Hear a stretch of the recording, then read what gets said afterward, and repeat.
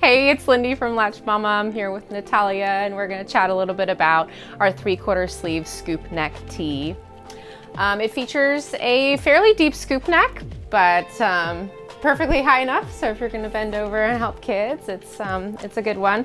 It's got a discreet lift up nursing access, similar to our V-neck tee 2.0 or our boyfriend tee. Um, so a simple side panel that um, is very easy to access as well as double pump. We've got three quarter sleeves which are really great for year round. And in the back, we have kind of a back yoke with a pleat that gives you a little bit extra flowy material. This is perfect for leggings. It's got a much longer length as well as jeans.